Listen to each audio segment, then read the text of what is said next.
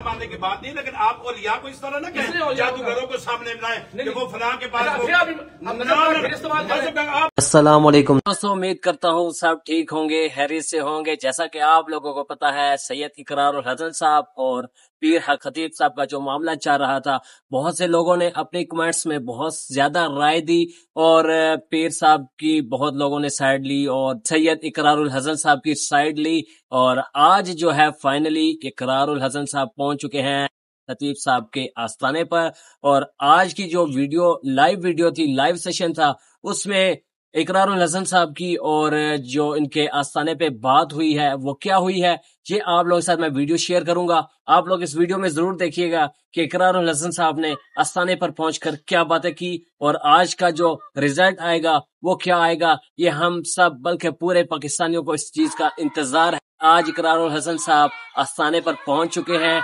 आज लाइव जो है सब कुछ करके दिखा देंगे, अवाम के सामने लेकर आ जाएँगे कि हकीकत क्या है। हकीकत हम सब लोग जानना चाहते हैं और आप लोग भी हकीकत को जानना चाहते हैं। तो ये वीडियो आप लोग ज़रूर देखें।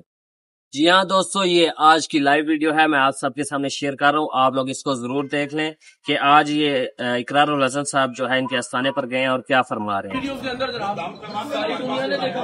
और सर पहले पहले वो कहते हैं दम खड़ा हो गया। खड़ा हमारे करें पास आते लोग दम करवाते हैं दम करवाते हैं तवीज इस्तेमाल करते हैं। मेरी एनर्जी जाया हुई मैंने बचा के रखनी पीर साहब के लिए मेहरबानी करें। इतनी तो बहुत ज़्यादा लोग जमा हुए हैं यहाँ पे। हो आप ये देखिए कोई नहीं है उसमें तो तुम्हारा ही है। अच्छा अब गुजारिश ज़्यादा सी है आप कहते हैं आप कहते हैं जी आपके मरीज़ तो मैं कहता हूँ पीर साहब को साथ लेके चलते हैं पीर साहब को साथ लेके चलते हैं करीब के किसी अस्पताल में चले जाते हैं। देखते हैं कितने लोगों को शिफा मिलती है?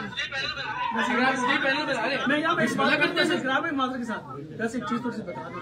क्या जो प्यासा होता है कुएँ के पास जाता है कुआँ चल के पैसे के पास जाता है के साथ अल्लाह के वली में ये अलाउ थी क्योंकि मेरे को टोके आया का कानून में बहुत लंबी बहस है यार यार यहाँ लड़ाई झगड़ा ना हो जाए बस ये है। चल के जाए शिफा दे दो लोग साथ यार अगले की एंगल को ना मैंने पीछे पकड़ लिया प्यासा कुएँ की मिसाल तो होती है यार है अल्लाह का वली है जिन्हें उनको लेके चलने का शिफा देगा वो की बात कर रहे हैं कि जेड़ा ਇੱਥੇ ਆ ਕੇ ਨਿਆਜ਼ਾ ਨਜ਼ਰਾਂ ਦੇਵੇ ਉਹੀ ਜਿਹੜਾ ਨਾਜ਼ਰ ਮਸੀਹ में मेरा पॉइंट है खलीफ साहब आपके मरीजों का मरीज नहीं मानते ये रिकॉर्ड में मैं कह रहा हूँ आपकी कहना अपने कहना आपके मरीजों को हम एक्टर मानते हैं मैं मरीज नहीं मानता लोग भी फैसला हाजी साहब ये मरीज़ फैसला करेंगे कौन एक्टर है कौन नहीं। बात पहली वीडियो में एक ही हुई थी कि इन्होंने फुट डाली हुई है हमने भी फुट डाल के निकाली है। यहाँ मरीज़ खड़ा होगा ये कैमरे उनके गले तक लेके जाए। गले तक लेके जाए चेक करें इसके अंदर कोई डाला हुआ या नहीं डाला हुआ फिर निकला वहीं सामने हो जाएगा कि सच है झूठ है? फिरने नहीं देना बात से। कोई बात नहीं करेगा इनके मुँह में खुद डालेंगे हमारे मरीज़ खुद निकलेंगे। फिर बात ही पॉइंट है कि पॉइंट फैसला करेंगे बस। तकलीफ़ फालतू किसी की भी नहीं। मसला थोड़ा संगीन लग रहा है यार। अब पता नहीं रिज़ल्ट क्या निकलेगा। हाँ अब नहीं तय करेंगे कि मरीज़। ये ये फैसला।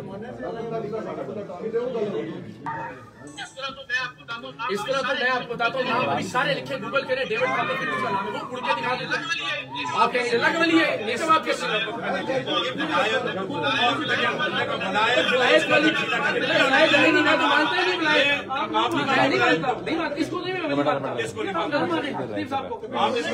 नहीं इसीलिए तो मैं आया हूँ यहाँ पे। नहीं आप आपके मानने के मान न मानने की बात नहीं लेकिन आप ओलिया को इस तरह जादूगरों को सामने लाए कि वो फलां के पास जी हाँ दोस्तों, आप लोगों ने मेरी आज की वीडियो देख ली। इकरारुल हसन साहब, फिर हक खतीब साहब के आस्थाने पर पहुँच चुके हैं और वहाँ पे लोगों का हजूम आप लोग चेक कर लें, क्योंकि आज लाइव सेशन है और सब कुछ जो है अवाम के सामने लाइव आएगा। इकरार साहब ने ये वादा किया था अवाम के सामने कि मैं सब कुछ लाइव दिखाऊँगा। क्या है और सच क्या है? ये अवाम के सामने आज आने वाला है। हम सबको इस चीज़ का इंतज़ार रहेगा। और ये वीडियो मैं आप सबके लिए लेकर आया हूँ। अब बाद का जो सेशन है, वो भी मैं आप सबके सामने ज़रूर शेयर करूँगा इनशाला तो दोस्तों, आप लोग इसी तरह मेरे चैनल के साथ जुड़े रखेगा इनशाला आप सबके सामने इसी तरह मैं अच्छी और नई वीडियोस लेकर आता रहूँगा। तब तक के लिए मेरे प्यारे दोस्तों, अल्लाह हाफिज।